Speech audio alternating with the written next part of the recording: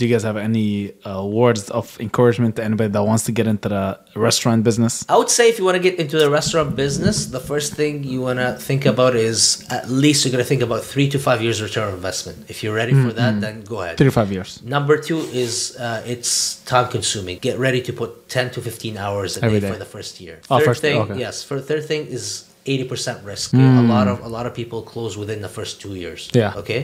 Uh, fourth thing I would say is labor force. There's a lack of The labor force is really probably bad in here. is the hardest part. Exactly, because how can you make money without soldiers? Like these guys are, you know, fighting for you to so you can make money. But if you don't have anybody to fight for you, you can't do it by yourself. Yeah. Right? If he's working, then he's not seeing what's happening in his restaurant. Mm-hmm. Then all that's gonna happen is just gonna keep going down, down, down. The only time I remember we started improving is when I went outside the box and started looking inside the Inside box on the things I need to improve. And that's when we seen it. We're like, oh, okay, look at how it's improving, right? So th- that that's another tip I would give is labor force is challenging. So if you are gonna open a restaurant, make sure it's like a family. Yeah. So that at least like it's somebody that you can rely on. Yeah, yeah, For yeah. example. And uh, number five, uh, invest a lot in social media. Hmm. And it's not about focus on like taste is really important, but it's not everything. Taste it's not everything, you know. And um, unfortunately, a lot of a lot of people who comes into this business, uh, you know, they they've been chefs back home or, or something, Ah, and they think yeah. people mentality here is same as back home. Yeah,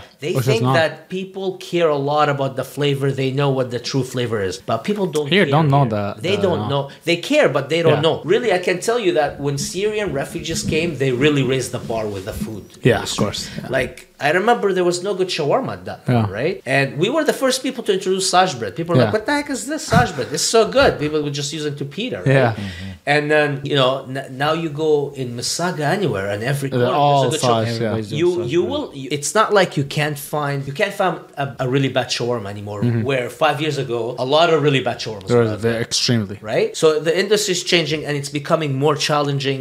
And you know, uh, if somebody's trying to get into this industry, food is important, but focus more on your marketing, on your operations, Your and basically your support, your cleanliness. Absolutely. And uh, these days, Google reviews is the easiest thing that a customer can rip you on. It's true. And it can affect your business a lot. Yeah, yeah, and yeah. for me, trust me, I'm on Google review every day reading my reviews and then I'm reaching out to you know my operations team. Look what Yeah. happened here, look at here. I shouldn't be doing this, but it's because I know how important it is. Yeah. So make sure you invest a lot in your Google. Google's everything. Yeah. People that's your image. Biggest thing. Yeah. Yeah. That's if your somebody image. leaves you a bad review, please invite him back and Yes. make him change that review. Yes.